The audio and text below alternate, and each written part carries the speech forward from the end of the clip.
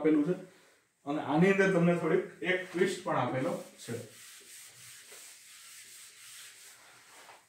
જોજો આસન મૂલ્ય શોધો, પણ કેવી રીતે કે ભાઈ આધાર રાખીને શોધવાનું કીધું છે આપણને.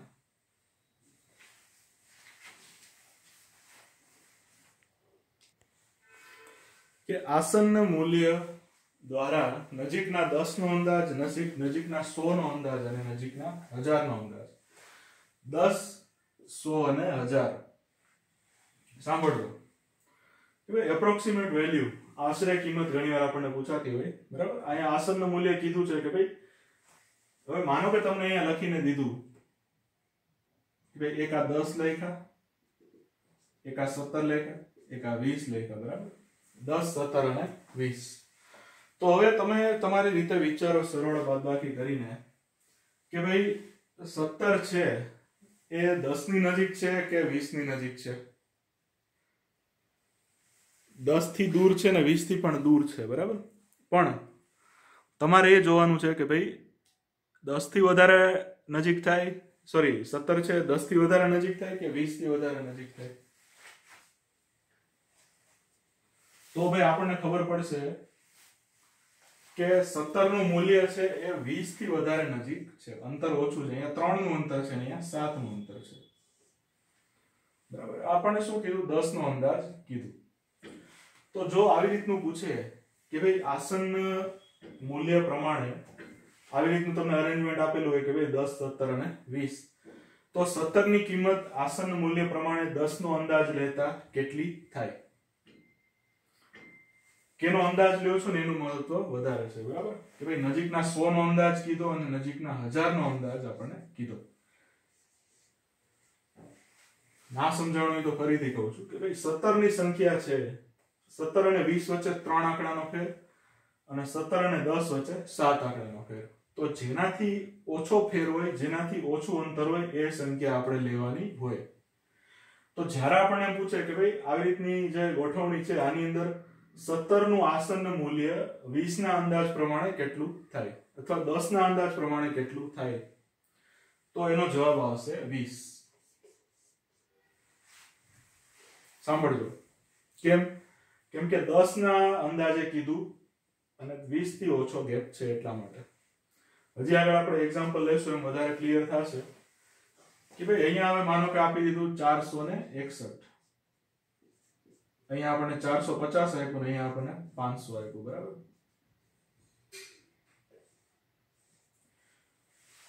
તો આ ગોઠવણી છે. આની અંદર ચારસો એકસઠની આસનની કિંમત કેટલી થાય? ટ્રાય કરો તમારી રીતે. આની અંદર આસનની કિંમત કેટલી થાય? ચારસો એકસઠની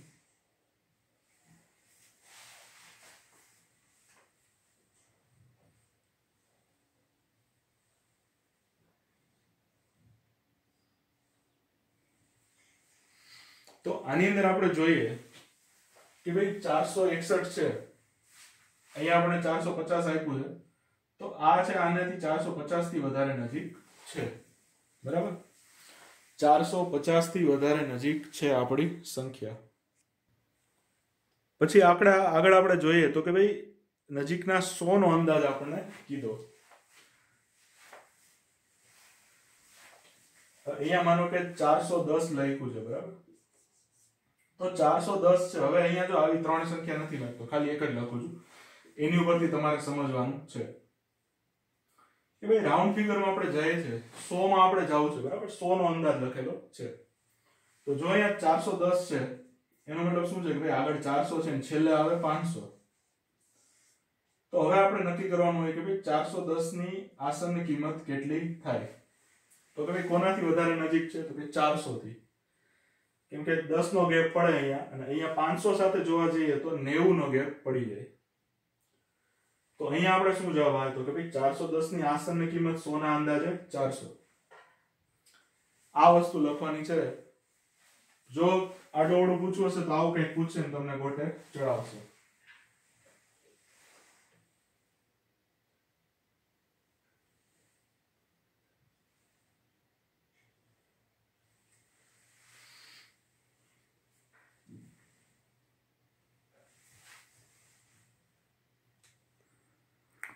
પછી આપણને એક આગળ આવે કે ભાઈ સો ના આધારે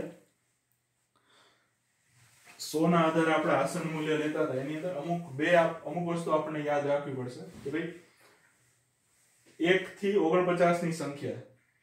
આપણે સો સુધીના જે આંકડા છે કે ભાઈ એક થી લઈને નવાણું ને પછી સો. તો હવે આની અંદર કેવું છે કે ભાઈ જ્યારે તમે આવી ગણતરી કરતા ને ત્યારે પચાસ નો આંકડો આની અંદર ગણતરીમાં નહીં આવે અને સો નો નહીં આવે. બરાબર? કેમ કે પચાસની અને સો ની પોતાની વેલ્યુ છે. આપણે એમ માનીને અત્યારે ચાલીએ કે ભાઈ બધાની વેલ્યુ છે જ પોતાની, પણ આ જે ગણતરી છે આની અંદર આપણે પચાસ અને સો ને ધ્યાનમાં લેતા નથી. તો એક થી ઓગણપચાસ છે, બરાબર? એ કોની નજીક છે? તો કે ભાઈ આમાં બે આપણી પાસે શક્યતા છે કે ભાઈ યા તો ઝીરોની નજીક, યા તો સો ની નજીક. તો એક થી ઓગણપચાસ છે એને આપણે શું લીધા? કે ભાઈ એ ઝીરોની નજીક છે એવું આપણને કીધું છે અને એકાવનથી ઓગણ નવાણું છે. એ જીરો કરતા સો ની વધારે નજીક આવશે. એટલે જ્યારે આપણે આ સંખ્યા હોય ને કે ભાઈ એક થી ઓગણપચાસમાં ગમે આંકડો કીધો હોય કે ભાઈ એકત્રીસનું સો ના આધારે આસન મૂલ્ય કેટલું? તો કે ભાઈ ઝીરો પાંત્રીસનું સો ના આધારે આસન મૂલ્ય કેટલું? તો કે ભાઈ જીરો કેમ? એક થી ઓગણપચાસ સુધીની સંખ્યા છે ઝીરો થી વધારે નજીક છે, માટે આમાંથી જ્યારે કોઈ સંખ્યા આપેલી હોય તો એનું સો ના આધારે આસન મૂલ્ય હંમેશા જીરો આવશે. આ ગોખો તો ગોખો તો આની અંદર લોજિક તમને કીધું કે ભાઈ કેમ કેમ કે આમાં જીરો અને સો ની વચ્ચે રમવાનું છે પચાસની ગણતરી આમાં ક્યાંય છે નહીં. પછી આવશે એકાવનથી નવાણું તો ભાઈ એકાવનથી નવાણું છે કોની નજીક છે? તો જીરો ની નજીક છે કે સો ની નજીક છે? તો આ જયારે આપણે જોશું કે ભાઈ પચાસની ઉપરની સંખ્યા છે ને એ બધી સો થી વધારે નજીકમાં આવે. પચાસથી વધારે સંખ્યા કે ભાઈ એકાવનથી લઈને નવાણું સુધીની એ જે સંખ્યાઓનો આખો જે જથ્થો છે, એ જે ગુચ્છો છે આખો એ સો ની નજીક આવે. એટલા માટે જ્યારે આની અંદરથી કોઈ સંખ્યા આપેલી હોય ને કે ભાઈ માનો કે પંચાવન આપી દીધા, તો પંચાવનનું આસન મૂલ્ય કેટલું? સો ના આધારે સો. તો આવી રીતે આ આપણને પરિણામ છે, આ આપણે ગોખો અથવા યાદ રાખો. બરાબર? લોજિકથી પણ યાદ રાખી શકીએ. કોઈ પચાસ ને આપણે ગણતરીમાં લેતા નથી અને 100 ના આધારે આસન મૂલ્ય કાઢીએ છે. તો આ આપણે જે ખાસ છે, એ તમારે લખી લેવું નોટમાં અથવા સ્ક્રીનશોટ પાડી લેજો, વીડિયો પોઝ કરી લો. તો આવું છે. હજી એક્ઝામ્પલમાં જોઈએ ને આપણે કે ભાઈ માનો કે આ તો ખાલી એમ આપી દીધું સો. આ તો બે ડિજિટની આપી દીધી, બરાબર? માનો કે અહીંયા આઠસો ને એકતાલીસ આપેલા હોય, તો આનું આસનની મૂલ્ય કેટલું થશે? તો કે ભાઈ આઠસો. કેમ? તો કે ભાઈ આઠસો તો છે જ. આપણા એકતાલીસ ને ધ્યાનમાં લઈને આપણે આ લોજિક છે અહીંયા લગાડવાનું થાય. કે ભાઈ એક થી ઓગણપચાસની વચ્ચે છે, તો કે હા સાહેબ છે. તો એક થી ઓગણપચાસ વચ્ચે હોય ત્યારે આપણે શું લેતા હતા? તો કે ભાઈ ઝીરો. તો આ એકતાલીસ નો આપણે કઈ ગણતરીમાં લેતા નતા અને સીધો આઠસો એકતાલીસમાંથી સીધો આપણે થઈ જાય આઠસો. આસન મૂલ્ય, અંદાજિત વેલ્યુ ગોતવાની આવે ત્યારે. હવે આવી જ રીતે માનો કે તમને આઠસો ને એકાણું આપેલું હોય તો શું કરશું? તો કે તો પછી આ બીજા નંબરનું પરિણામ આપણે ધ્યાનમાં લેશું. એકાવનથી નવાણું ની વચ્ચે છે? હા. જોજો, આ એકાણું ની વાત છે આઠસો ની વાત નથી. આઠસો તો છે જ. આ તો આવશે જ. અહીંયા પછીના બાકીના બે આંકડા ક્યાં લેશું ને એનું આપણે અત્યારે નક્કી કરીએ છીએ. તો આ શું છે કે ભાઈ એકાણું થી વધારે સોરી એકાણું છે? તો કે આ એકાવન અને નવાણું ની વચ્ચે એકાણું નંબર આવે. તો અહીંયા શું કર્યું? તો કે ભાઈ આઠસો નહીં લઈએ, સીધું નવસો લઈ લેશું. કેમ? તો કે ભાઈ અહીંયા સો ના આધારે આસન મૂલ્ય સો થઈ જાય. એટલે આઠ ના બદલે નવ આવી જાય અહીંયા. અને આઠસો ના બદલે નવસો જવાબ આવે. આ એક ગણતરી ખાસ ધ્યાનમાં રાખવી. નાની એવી ગણતરી છે, પણ લોજિક થોડુંક લગાવવાનું છે આની અંદર. ઓકે તો એક આ એક પરિણામ થઈ ગયું. પછી હવે નેક્સ્ટ આપણે જોઈએ, તો આમાં અંદાજ લગાવવાનું કીધું છે. હવે અંદાજ લગાવવાનું એ બધું આવે, તો ક્યારે આવે? તો કે ભાઈ એના માટે આવા જે નાના નાના સવાલ છે, સેલા સેલા સવાલ છે એના માટે આવી વસ્તુ પૂછે. ધારો કે આપણને બુકમાં આવી રીતે આપી દીધું, પાંચ હજાર બસો નેવું વત્તા એક અગિયાર હજાર એવું કંઈક આપેલું છે બુકની અંદર. સત્તર હજાર નવસો ને છ્યાસી સત્તર નવસો ને છ્યાસી હવે એમ કીધું છે કે ભાઈ આનો અંદાજ લગાવો. તો આપણે આવી રીતે કરીએ કે ભાઈ છ નવ ને આઠ, સત્તર સાતડો વધી પડી એક નવ ને બે, અગિયાર, ને એક, બાર. બાર નો બગડો વધી પડી એક પાંચ અને સાત બાર ને એક, તેર તેર નો તગડો વધી પડી એક અને એક અને એક, બે. જનરલી આપણે આવું કરતા હોઈએ છીએ, પણ અહીંયા આ રીત વસ્તુ, અંદાજ લગાવવાની વાત આવે ત્યારે આ વસ્તુ કામ લાગશે નહીં. તો અહીંયા આપણને એક ટોપિક આપ્યો છે, હજારનો અંદાજ. હવે આની અંદર એ ઉપર આપણે પરિણામ લીધું હતું ને, એવું જ છે. પણ અહીંયા થોડુંક આપણને ટ્વિસ્ટ આપેલું છે. કેવી રીતે? તો એક થી ચારસો નવ્વાણું અને પાંચસો એક થી નવસો ને નવ્વાણું. અહીંયા જેમ કીધું હતું કે ભાઈ ઝીરો ની નજીક છે અને સો ની નજીક છે. એમ અહીંયા તમે વિચાર કરો કે ભાઈ આ કોની નજીક છે અને કોની દૂર છે એ તમારે આની અંદર જોવાનું છે. જ્યારે અંદાજ લગાવતા હો આસન વેલ્યુ કાઢતા હો, ત્યારે. તો અહીંયા હજારના આધારે, ઉપર સો ના આધારે લખ્યું હતું, અહીંયા હજારના આધારે લખેલું છે. તો એક થી ચારસો નવ્વાણું છે એક હજારના આધારે જોઈએ ને તો ઝીરો થી વધારે નજીક છે. અને પાંચસો થી નવસો નવ્વાણું છે, એ છે એક હજારની વધારે નજીક છે. માટે જ્યારે એક થી ચારસો નવ્વાણું કીધી હોય ને આસન વેલ્યુ કેના આધારે? હજાર. આધારનું ખાસ મહત્વ છે આની અંદર. તો જ્યારે એક થી ચારસો નવ્વાણું ની કિંમત હજારના આધારે કીધી હોય, તો આનો જવાબ આવશે ગમે તે સંખ્યા આપેલી હોય આની આસન વેલ્યુ આવશે ઝીરો અને પાંચસો એક થી નવસો નવ્વાણું હોય, તો આની આસનની કિંમત આવશે એક હજાર. હવે આ જે કોન્સેપ્ટ છે, આ જે આપણે નિયમ જોયો ને, એ અહીંયા લાગુ કરવાનો છે, સરવાળામાં. સીધો આપણે સરવાળો કરવા નથી લાગી પડવાનું. અંદાજ કાઢવાનું કીધું છે, સરવાળો કાઢવાનું કીધું નથી. જો તમને પેપરમાં ફસાવા હશે, તો આવું કંઈક પૂછશે કે ભાઈ પાંચ હજાર બસો નેવું હતા, સત્તર નવસો છ્યાસી. આનો અંદાજ લગાવો. અને એક ઓપ્શન આ પણ હશે કે ભાઈ ત્રેવીસ હજાર બસો ને છોતેર. તો આ સરવાળો સાચો હોવા છતાં એક્ઝામમાં ખોટું પડશે, કેમ કે અંદાજ લગાવવાનું કીધું છે, બીજું કઈ કીધું નથી. તો આનો અંદાજ કેવી રીતે લગાડશું? તો કે પાંચ હજાર તો છે. હવે આ બસો નેવું છે, એ ક્યાં છે? તો એક અને ચારસો નવ્વાણું ની વચ્ચે આવે, તો હા. તો આની કિંમત કઈ આવે નહીં. કેમ કે ઝીરો આવે એટલે અહીંયા પાંચ હજાર લખી નાખવાના થાય રાઉન્ડ ફિગરમાં અને સત્તર નવસો ને છ્યાસી આપ્યા. સત્તર હજાર તો છે તો બાકીના જે નવસો છ્યાસી છે એ ક્યાં આવે? પાંચસો અને નવસો નવ્વાણું ની વચ્ચે આવે. તો એની કિંમત થાય એક હજાર. એટલે આ સત્તર હજાર છે, એની બદલે થઈ જશે અહીંયા અઢાર હજાર. અને જવાબ તમારો આવશે ત્રેવીસ હજાર. નજીકની કિંમત લીધી નિયર બાય કિંમત લીધી. ફરીથી જોજો, બસો નેવું છે, એને ઝીરો ની વધારે નજીક માયના છે આ નિયમમાં. કેમ કે તમે એમ ગણો કે ભાઈ જીરો અને બસો નેવું વચ્ચે બસો નેવું નો ગેપ છે, પણ હજાર ને બસો નેવું વચ્ચે કેટલો ગેપ છે? તો એક હજાર માઇનસ બસો નેવું, એટલે દસ અને અહીંયા સાત. સાતસો દસ નો ગેપ ઓછો કે બસો નેવું નો ગેપ ઓછો? તો કે બસો નેવું નો અંતર છે એ ઓછું પડે. તો એ પ્રમાણે આની અંદર કિંમત લીધી. એટલે જો તમે આનો સાચો જવાબ ગણશો ને આ સરવાળાનો તો એ તમારો ખોટો પડશે. કેમ કે અલગ કોન્સેપ્ટ વાપરવાનું કીધું. આપણો જે સરવાળો કરતા હોય, એવું કરવાનું કીધું નથી. અંદાજે વેલ્યુ ગોતવાની કીધી. એટલું મગજમાં રાખવું પડે. બાકી માર્ક કપાઈ જશે. માર્ક તમને ખબર છે કે ભાઈ, સાચામાંથી એક થોડો ઘણો ભાગ છે, લઈને જાશે. પછી જે કૌંસનું વિસ્તરણ કરવાનો આપણને ટોપિક કીધો, તો એ કઈ આપણે અત્યારે કરવાની જરૂર નથી. પણ એક ગુણાકારનો અંદાજ આમાં આપણને કાઢવાનો કીધો છે, બરાબર?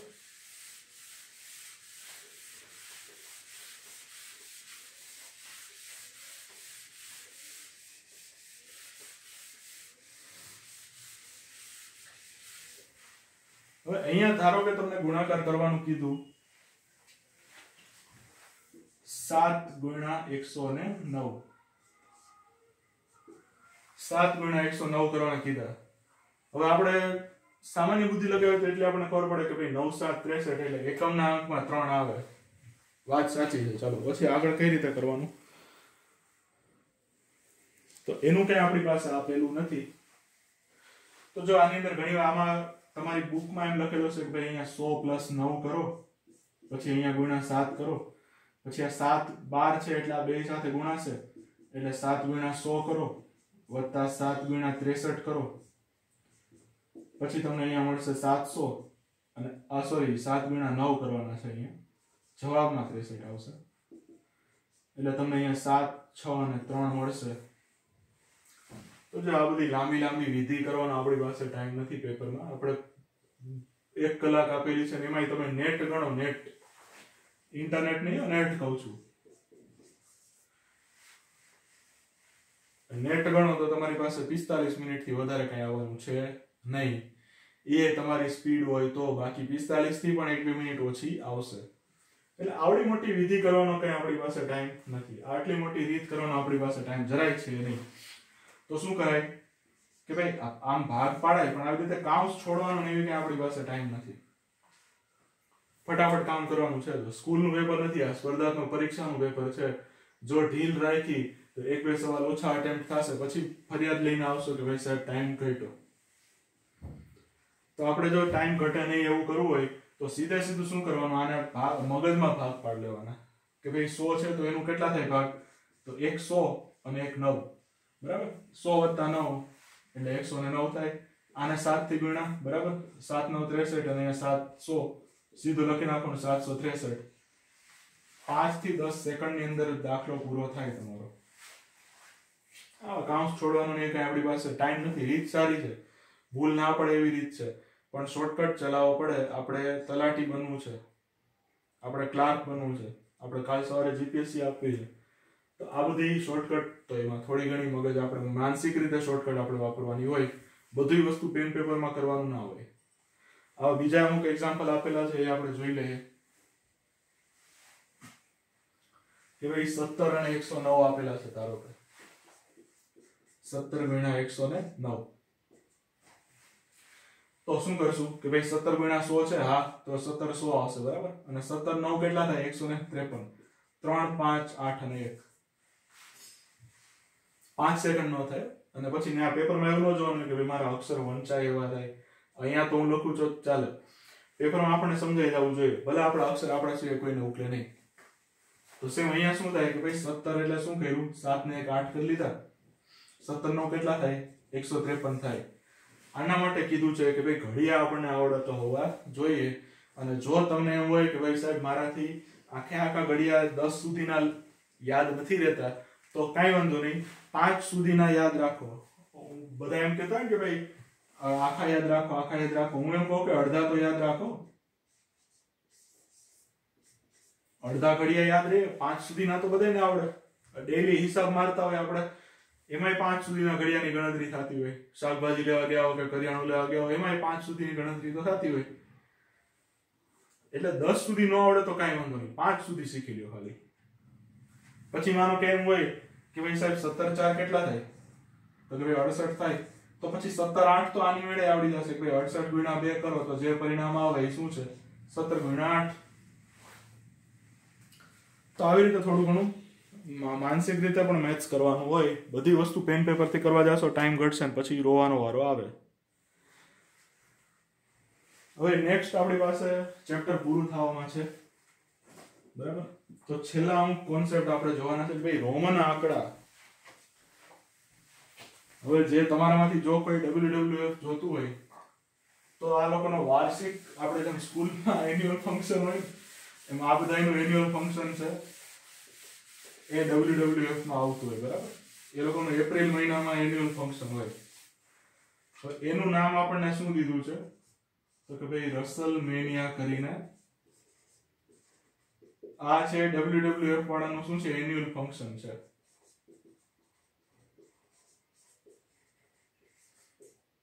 આ જ્યારે એન્યુઅલ ફંક્શન છે, તો ભાઈ ત્યારે શરૂઆતમાં રસલ મેનિયા દર વર્ષે આવે. એટલે કંઈક એમ માનો કે ચાલીસ વર્ષ થઈ જશે થોડાક ટાઈમમાં તો આ લોકોએ શું કહ્યું હતું? કે ભાઈ એક થી નવ સુધી તો ચાલે. પછી શું આ લોકો ધીમે ધીમે થોડાક અમુક અમુક નામમાં, જેમ કે એમ હોય ને કે ભાઈ દસમું છે રસલ મેનિયા તેમાં રસલ મેનિયા ટેન લખ્યું હોય. અગિયારમું છે ને, તો એની અંદર અગિયાર ઇલેવન લખ્યું હોય. તો પછી થોડુંક એમાં સ્ટાઇલ નથી આવતી. આ લોકો જ્યારે ડબલ્યુડબલ્યુએફ વાળા લોગો બનાવતા હોય આની અંદર શું સ્ટાઇલિશ લોગો હોવો જોઈએ, બરાબર? તો પછી શું કર્યું કે ભાઈ વીસ લખવાના બદલે આવું ચાલુ કર્યું કે ભાઈ એક્સ લખી નાખે બે વાર, એટલે આનો મતલબ વીસ. એક વાર એક્સ લખ્યું હોય તો આનો મતલબ દસ. આ ખાલી એક્ઝામ્પલ આપ્યું કે રોમન અંક છે આવી રીતે ઘણા યુઝ કરતા હોય. ઘણી ઘડિયાળમાં આપણે જોઈએ તો ભાઈ એક થી બાર સુધીના રોમન અંક આપણને ખબર હોય, પણ ખાલી એક થી બાર ના અંક જાણવાથી કામ ચાલતું નથી મારો ભાઈ. આગળ એ કરવું પડે, સો સુધી જવું પડે. રોમન અંક માટે. કદાચ એનાથી આગળ જવું પડે, નક્કી ન કહેવાય. આપણે સો સુધી જઈએ છે અત્યારે.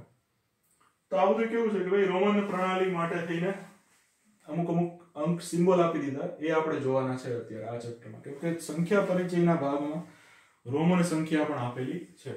આ ખાલી એક એક્ઝામ્પલ આપ્યું આ ડબ્લ્યુડબ્લ્યુએફ વાળા રોમન પદ્ધતિ નથી કાઢી. એ લોકોએ રોમન પદ્ધતિ વાપરી છે. અને આપણે ખાલી જોવાનું છે કે ભાઈ કોન્સેપ્ટ શું છે રોમન પદ્ધતિનો. હવે જે રોમન વાળાને થોડુંક સીધે સાધા આંકડા નથી લખી નાખતા. એમના થોડા ઘણા ટ્વિસ્ટ છે. પેલા એક થી દસનું જોઈ લે કે એક, બે, ત્રણ, ચાર, પાંચ, છ, સાત, આઠ, નવ અને દસ. એકમાં આપણને ખબર છે કે ભાઈ સિંગલ આઈ લખેલો હોય. બરાબર? અથવા ખાલી આઈ આમ નાનો એ લખ્યો હોય આવું એવું નથી કે મોટું લખું. હું થોડુંક મોટું લખું છું, તમે નાનું લખશો તો પણ ચાલશે. પછી બે છે તો કેટલા આઈ? તો કે ભાઈ બે આઈ લખેલા હોય. ત્રણ છે તો કેટલા લખેલા હોય? તો કે ભાઈ ત્રણ આઈ લખેલા હોય. હવે જ્યારે તમે ચાર લખશો ને, તો ચાર આઈ નથી લખવાના. ઓપ્શનમાં હશે કે ભાઈ ચારનો રોમન પ્રમાણ પ્રણાલી પ્રણાલી પ્રમાણે શું થાય? તો ચાર આઈ લખેલા હોય તો એની ઉપર તમારે ટીક નથી કરવાનું. કેમ કે રોમન જે પદ્ધતિ છે, એનો નિયમ છે કે ભાઈ એક જે સિમ્બોલ છે, એક નિશાની છે ચાર વાર લખવાની નથી. ત્રણ વાર લખવાની ત્રણથી વધારે વાર રિપીટ કરાય નહીં. તો શું કરશું? કે ભાઈ આ પાછળ આપણે જાશું. કે ભાઈ પાંચ છે તો પાંચ ને શું લખાય? વી. વોડાફોન નો વી. તો ચાર લખવા માટે શું છે કે ભાઈ ઊંધું જવું પડશે, પાંચથી ચાર ઉપર જવું પડશે. કે ભાઈ વી ની આગળ આઈ લખશું ને આઈ વી તો આનો મતલબ શું થાય?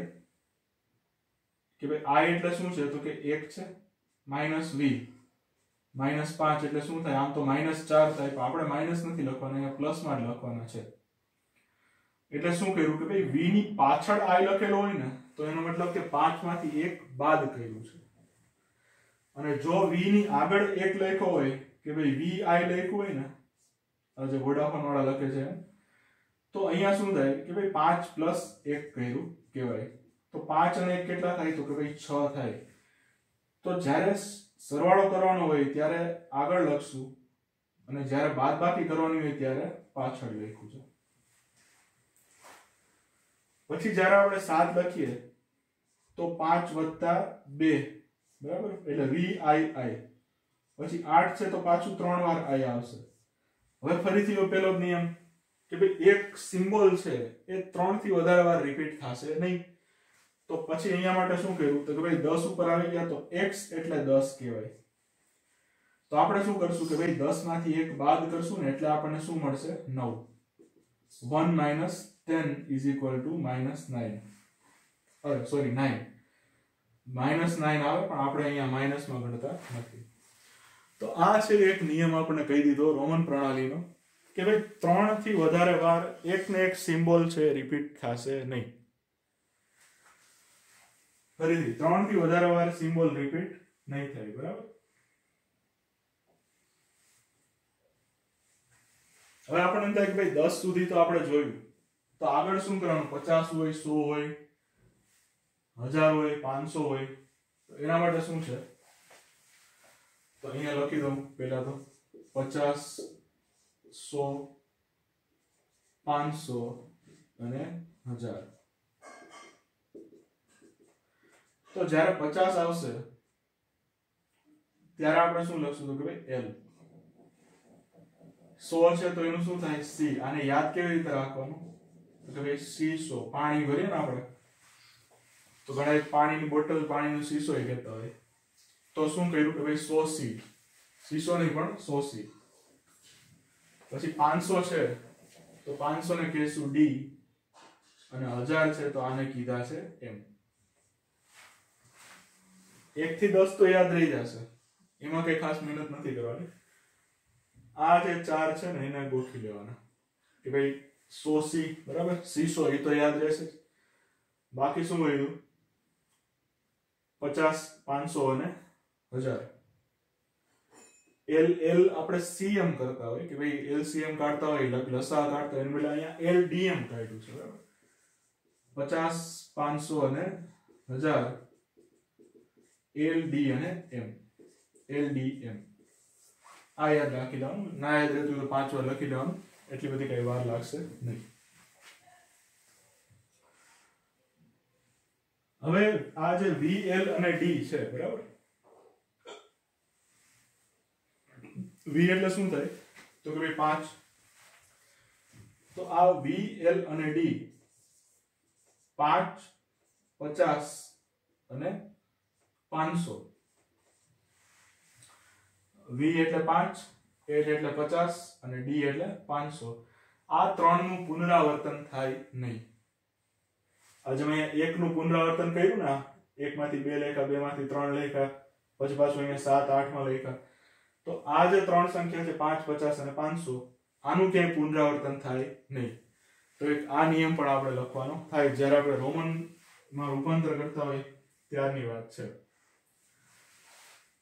અને આ જે વીએલ અને ડી છે, એને બાદ ના કરાય. તો બે વસ્તુમાં ચોકડી લાગી શેમાં? પુનરાવર્તન ન કરાય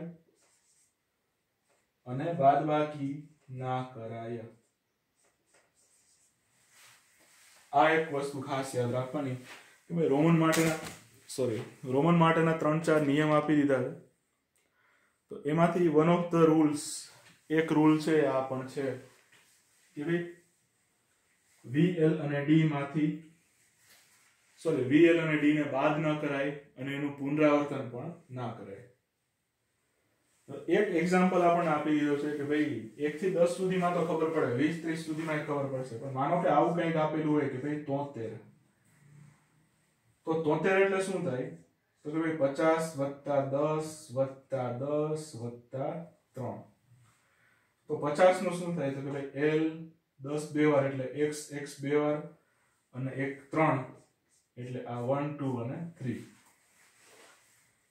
તો આવી રીતનું જ્યારે આપણે જોજો, સરવાળો કરવાનો હોય ત્યારે શું કર્યું હતું? આગળ લખાતા, જમણી બાજુ લખાતા. તો આમાં આપણે એવું જ કર્યું કે ભાઈ પચાસ વત્તા દસ વત્તા દસ વત્તા ત્રણ. તો આ આપણો રોમન અંકનો એક કોન્સેપ્ટ આપણને આ ચેપ્ટરની અંદર આપી દીધો એ આપણે જોયો. ઓકે ચેપ્ટરમાં બીજું કંઈ ખાસ નહીં? આપણી સ્પર્ધાત્મક પરીક્ષાને અનુલક્ષીને આટલો કોન્ટેન્ટ છે ચેપ્ટરમાં હતો. જો વીડિયો લાંબો હશે તો આપણે બે પાર્ટમાં મૂકશું. આગળ કીધું એમ. અને આની જે પીડીએફ છે નોટ્સની એ તમને ટેલિગ્રામ ગ્રુપની અંદર મળી જશે. જ્યારે બે પાર્ટ અપલોડ થઈ જશે, ત્યારે તમને પીડીએફ ટેલિગ્રામમાં અથવા એપ્લિકેશનમાં મળશે. તેની લિંક તમારા સુધી પહોંચી જશે. વિડીયોમાં અથવા ટેલિગ્રામમાં તો જો આવી રીતની આપણી સિરીઝ છે, બરાબર? ધીમે ધીમે આપણે વધારે વધારે લેક્ચર્સ અપલોડ કરતા રહીશું. તમારો કંઈ પણ સુઝાવ, કંઈ પણ ફીડબેક હોય, તમને સ્પીડ આપણે આવો લેક્ચર પહેલી વાર લીધો.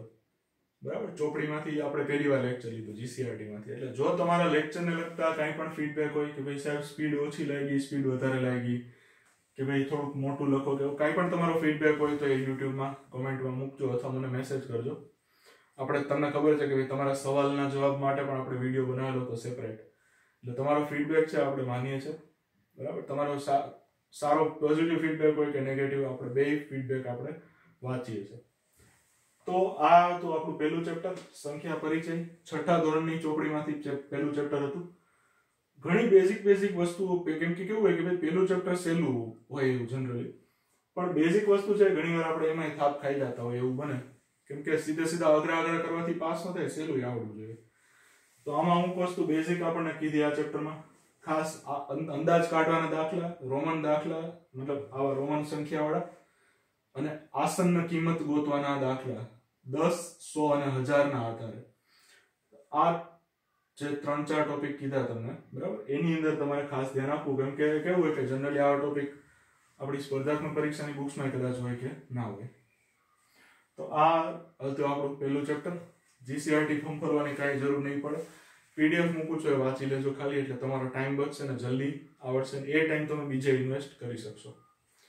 તો આ હતો આજનો lecture thank you for watching મળીએ નેક્સ્ટ વિડીયોમાં ત્યાં સુધી વાંચતા રહો અને મતદાન ના કરવું હોય તો કરીને આવજો હજી. Thank you